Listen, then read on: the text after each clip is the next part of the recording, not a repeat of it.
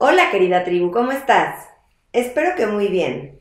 Yo soy Paloms y hoy me siento muy contenta de estar juntos en un video más.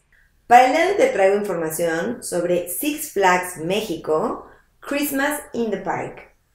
Desde hace mucho quería hacerte este video para que sepas si realmente vale la pena o no ir en la temporada navideña a Six Flags. ¿Te gustaría saber de qué se trata? Este más a continuación.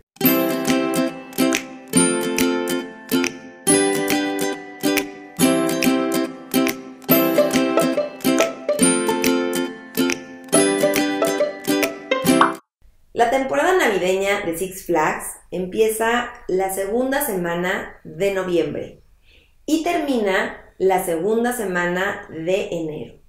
Esto quiere decir que durante dos meses podrás disfrutar de diferentes atracciones que solo están durante la época navideña.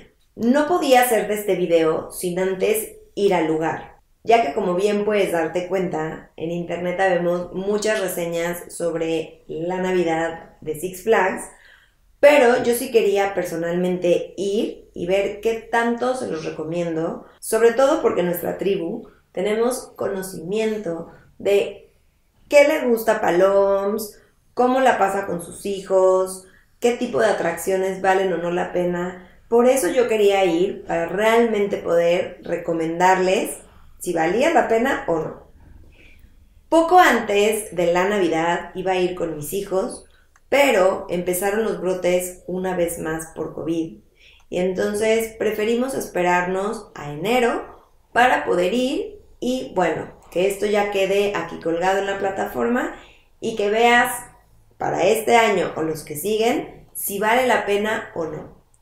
De entrada, lo más importante que te puedo compartir este enero 2023 es que te queda un día para tomar la promoción, que es el paquete Platinum, lo tienen al precio del Gold, o sea, uno más bajo, para poder pagar la anualidad. Ahora te los voy a desglosar, te los voy a explicar, pero sí es importante que lo sepas, porque creo que es una muy buena oportunidad y termina en un día. Christmas in the Park en México lleva 10 años celebrándose y desde que entras es todo un ambiente navideño. Me encanta porque a lo mejor de día no se nota tanto, digo, ves las diferentes atracciones, pero realmente todo empieza a las seis y media de la tarde. A partir de las seis y media es cuando el desfile navideño sale por la calle principal de Six Flags y a partir de ahí prenden todas las luces. Además del desfile vas a encontrar conciertos navideños, vas a encontrar a los personajes de Six Flags, a los de los Looney Tunes, disfrazados de Navidad. Y bueno, hay diferentes atracciones eh, específicas de la temporada, como pedir posada, entonces pasas por diferentes casitas y te van dando dulces. Hay eh, esta resbaladilla que el costo es por aparte y bueno, ¿no? Te vas, es una resbaladilla que tiene que ver con, con nieve, que realmente no tiene nieve, pero bueno, es una resbaladilla especial de la temporada. También están diferentes puntos donde está saliendo nieve constantemente. Hay un punto en el área de los niños donde se meten y hay espuma que asemeja la nieve. Yo no los dejé meter porque cuando fuimos hacía muchísimo frío, entonces no dejé que se metieran. Pero la gran diferencia es que después de las seis y media de la tarde, en diferentes puntos a lo largo del parque de diversiones, vas a encontrar que está saliendo esta nieve. También hay diferentes puntos en donde puedes hacer s'mores, que es esta clásica tradición americana de calentar bombones, chocolate y galleta. Y todo eso al mismo tiempo te lo comes y bueno, hace toda una experiencia. Entonces vas a encontrar diferentes puntos donde ponen fogatas para poderlo realizar. Y bueno, aquí lo más importante es el sentimiento de cómo se envuelve todo Six Flags en un ámbito navideño También vale muchísimo la pena estar escuchando a los conjuntos en vivo que tocan música navideña, villancicos. Y como te decía, el gran concierto navideño donde finaliza con fuegos artificiales. La verdad es que sí está padre y vale la pena. Y lo mejor de todo es que es por el mismo precio de cualquier otro día del año. Ahora sí, voy a pasar a platicarte de los planes y programas, porque aunque ya he hecho otros videos de Six Flags, este es el nuevo plan 2023, que tiene que ver principalmente con tres planes, el Gold, eh, Platinum y el Diamante. Para el 2023, la entrada Six Flags está para un día de ir ¿no? con tu familia, disfrutar e ir un día. Está en 749 pesos para mayores de 12 años y para menores de 12 años está en 500 pesos la entrada. Si tú quieres adquirir alguno de los tres paquetes, que es el oro o gold, el platinum y el diamante, el oro está en 799 pesos el Platinum está en 999 pesos por el año y el diamante está en 3.600 pesos. Cada uno va teniendo sus especificaciones, pero lo que te decía de la gran promoción que queda solo un día, este que está aquí, el Platinum, está de 999 a 799. Entonces vas a poder disfrutar de muchas más atracciones y, de experiencias por el precio del Gold. ¿De acuerdo? Si te interesa, hazlo porque tienes hasta hoy, lo puedes comprar por internet sin ningún problema, así los compré yo. Y ahora sí te explico qué trae cada uno. El Gold tiene principalmente que es Six Flags México. La duración es de en el momento en el que lo compras hasta el 31 de diciembre, visitas ilimitadas y el estacionamiento se paga por aparte. Obviamente, por el precio por persona no incluye ningún tipo de alimento. El Platinum está en, como te decía, 999, en la promoción 799.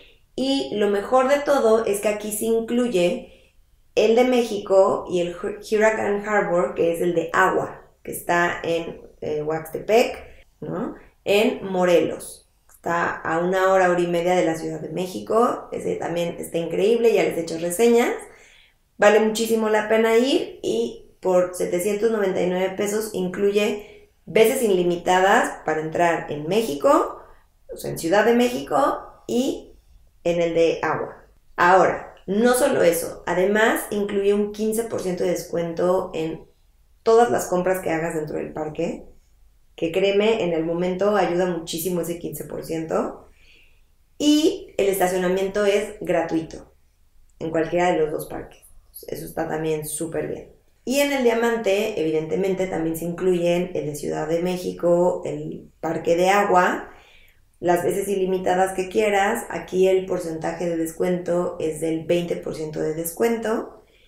Y bueno, trae el estacionamiento gratuito y además más experiencias que son, bueno, muy agradables.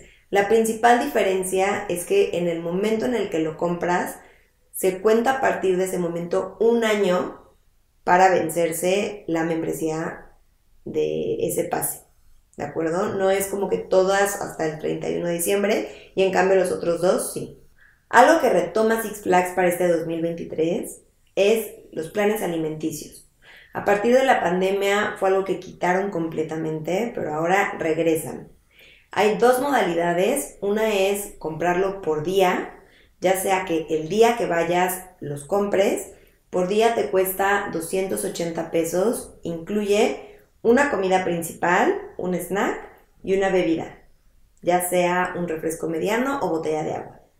O que lo compres anual, el costo es de 1.600 pesos por persona y es las veces ilimitadas, cada que vayas puedes consumirlo, comprarlo. Y bueno, ya nada más sería que elijas cuál de los dos te conviene. La verdad es que tengo el plan anual, con una vez que vayas cubres el costo de una ida y nosotros en este año con el, el pase anual fuimos como cuatro o cinco veces. Así que para que más o menos te hagas idea ¿no? De si vale la pena y cuántas veces podrían ir. Yo honestamente creo con que compren el de el del día más que suficiente, pero bueno, habrá quien vaya más veces y si le convenga ir. El plan anual de alimentos. Por último, decirte que el estacionamiento, si lo tienes gratuito, conviene eh, apartar tu lugar en línea. Si lo haces así y reservas tu lugar, son lugares hasta adelante reservados, que en cuanto entres y salgas es muy fácil el acceso. Si no te mandan a unos súper lejanos, que si es de flujera y si te cansa, porque si ya sales sobre todo a la salida muy cansada, muy cansado con niños y se vuelve pues difícil lidiar con eso. Y ahora sí, esto es todo por hoy. Espero que estés muy bien. Te mando un fuerte abrazo. Bye.